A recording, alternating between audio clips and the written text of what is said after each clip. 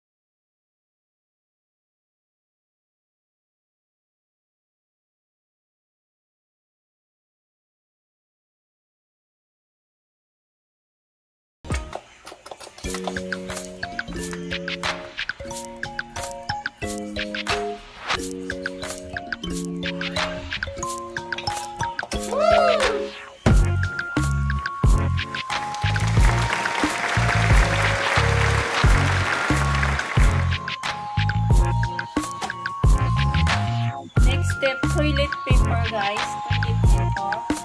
Woo!